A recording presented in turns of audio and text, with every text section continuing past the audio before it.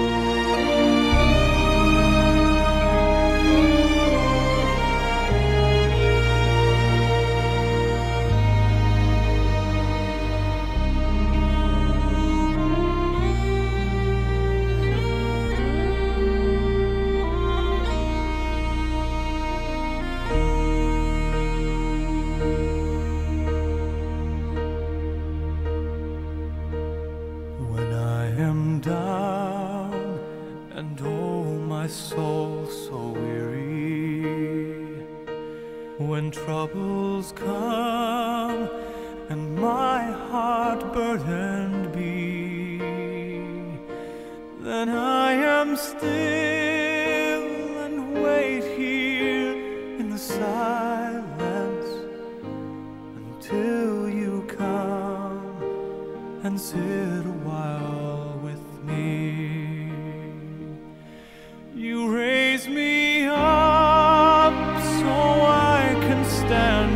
Mountains. You raise me up to walk on stormy seas. I am strong